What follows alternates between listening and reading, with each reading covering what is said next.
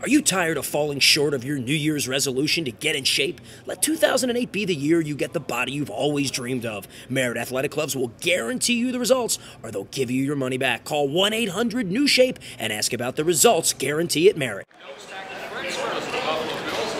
Thank you very much, Robert Altman. All right, back here at Radio Row, uh, live coverage of Super Bowl 42. Of course, the game doesn't start till Sunday, but everybody starts getting in the house on Monday. The writers have to have something to write about.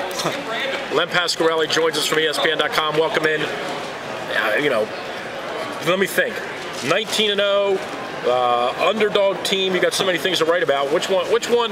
You got to get them all out of the way, right? At some point, you got to write the Tom Brady story first, or the Eli Manning story. Night, yeah. Oh, you wrote that already. Yeah. I got the Patriots this week. I've covered them 10 of the uh, 18 games they've played so far, and, and, and you hate to say it, but you're just running out of stuff to write about about that team when you when you cover them that much. I don't know how the reporters in, in Boston and from the New England area are doing it because you know they're not the most quotable team around. They kind of follow the cue of their leader, who doesn't say a whole heck of a lot. He probably was aghast last night at uh, Tom Brady's candor about his, his ankle, but. Uh, it's a remarkable season, and, and you know what the Giants done is, is have done is pretty remarkable as well. You know, Len, I asked Clark Judge this question earlier. Uh, from your standpoint, thinking ahead to Sunday night at 9:30 or 10 o'clock, or even Monday when you've had a chance to sift through it all, what would be, from your standpoint, writing it? What would be a better story, the 19 and 0 story, or the Giants winning 27-20 with 12 seconds to go on a throw from Manning to Burress? I think a lot of people would think the Giants upsetting, you know, stopping this this pursuit of perfection would be a great story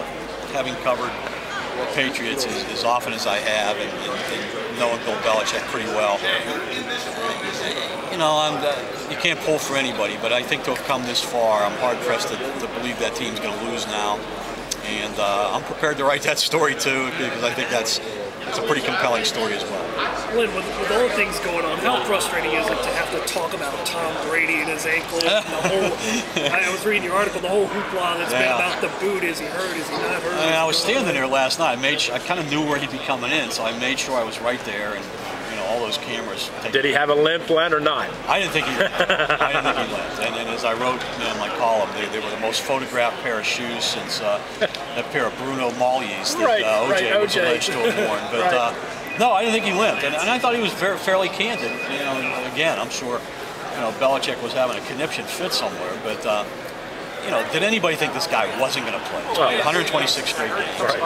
I mean, short of amputation and maybe even counting amputation, this guy was going out on the field tape him up and get him in there, exactly, right? Yeah. Hey, a couple of things. I want to talk about Ravens here in a couple of minutes, but a couple of things for you as you look around, and maybe you haven't had time to focus on this, but it's, you know, I don't know how, I don't know what's going on in Washington and, and Oakland and how they can Nobody cover does. and how they can cover these two markets, these two teams, but what is going on in DC where, and obviously Gibbs quitting may or may not have been a shock to them, but this last three weeks with them of this Gregg Williams was supposedly the it was a fait accompli. Gregg Williams was just going to be the coach, and we'll interview a minority candidate because we have to. But Gregg Williams is going to be the coach. Now all of a sudden, not, not only is he not the coach, they fired him.